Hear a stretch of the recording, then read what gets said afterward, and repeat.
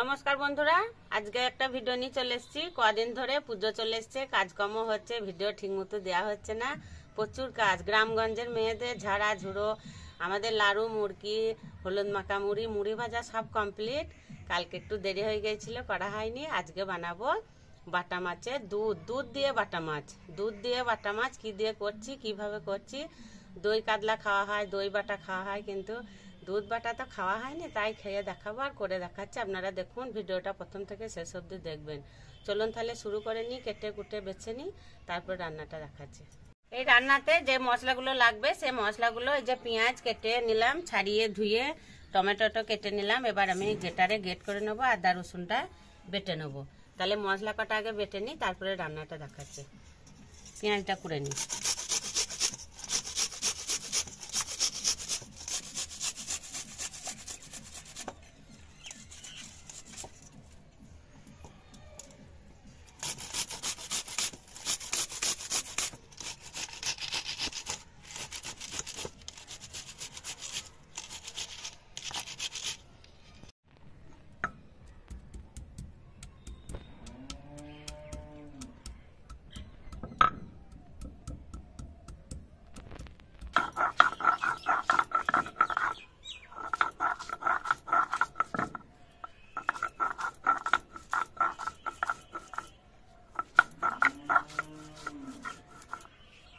পোস্ত আর একটু মগজদানাটা বেটে নেব।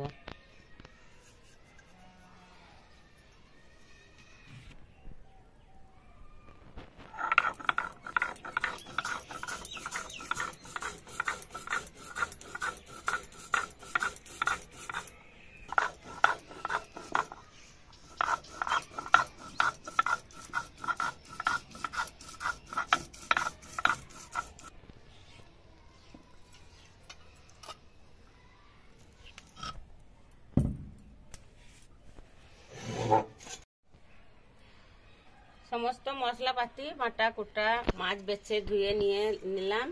এবার রান্নাটা বানাবার এই রান্নাগুলো খুব অল্প সময়ে হয়ে যায়, শর্টে হয়ে যায়। তাই রান্নাগুলো খেতে খুব সুন্দর। গরম ভাতে খুবই ভালো লাগে রান্নাগুলো খেতে। খেয়ে করা হয়েছে, খাওয়া হয়েছে।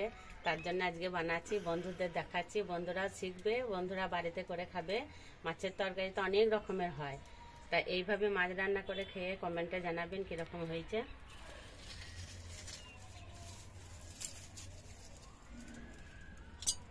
কড়াই গরম হয়েছে, এবার কড়াই দেবো সর্ষের তেল। সর্ষের তেলে মাছগুলো সব ভেজে নেব।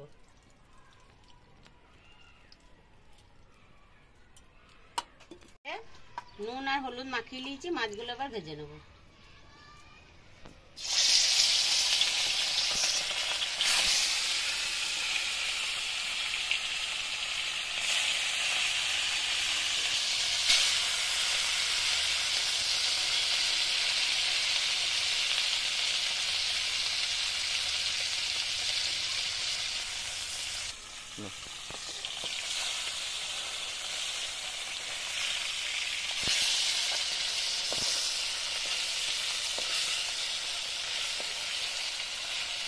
মাছগুলো ভাজা হয়ে গেল তুলে নেব।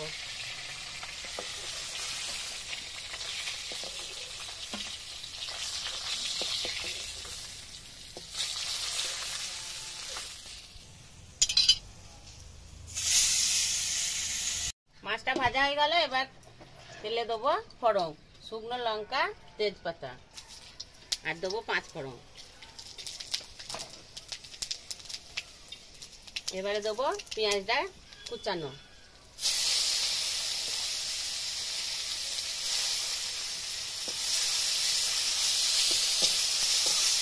এই জাল দিবারগুলো খুব জ্বলছে একটু রোদে দেওয়া ছিল, তার জন্য এমন একবারে দিতে দিতে হা হা করে আখাটা জ্বলছে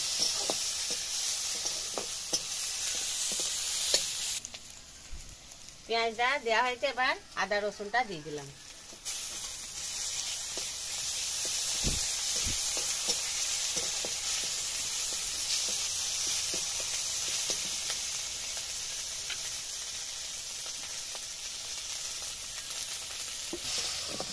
আদা, রসুন, পেঁয়াজ ভালো করে ভাজা হয়েছে, এবার দেবো কিছু গুঁড়ো মশলা। অল্প হলুদ দেবো, হলুদ না দেওয়াই হবে। দুধ হবে এটা যতই হোক। জিরে গুঁড়ো, ধনে গুঁড়ো, আর একটু দেবো গরম মশলার গুঁড়ো, অল্প লাল লঙ্কার গুঁড়ো। এবারে দেবো একটু জল।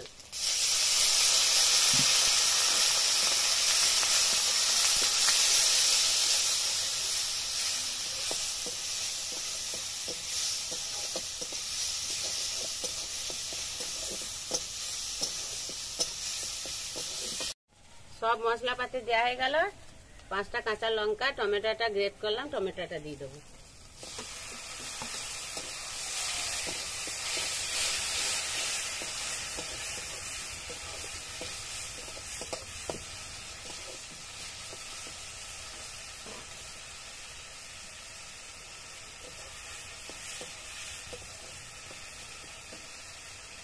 মশলাটা ভাজা হয়েছে, এই যে ধারে ধারে তেল ছেড়ে দিয়েছে।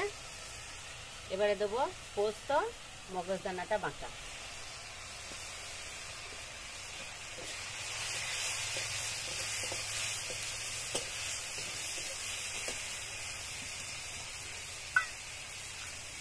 পোস্তর বাটিটা দিয়ে একটু জল দিয়ে দিলাম।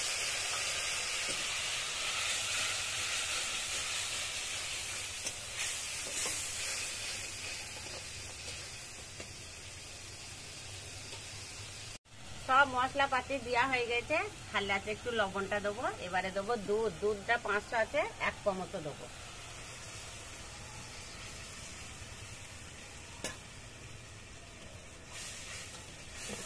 কত সুন্দর লাগছে ঝোলটা। এইভাবে ঝোল রান্না করে খেলে অসাধারণ। মাছের লবণ দেওয়া আছে, এবার দেবো অল্প করে লবণ।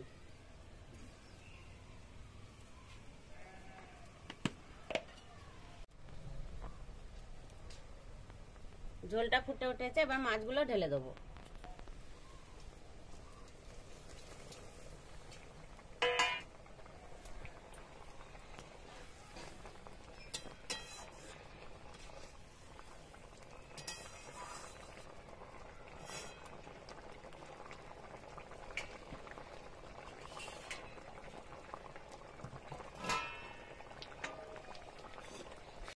দুধ দিয়ে বাটা মাছ। দুধ দিয়ে বাটা মাছের রান্নাটা আমার হয়ে গেল ঢেলে নিচ্ছি।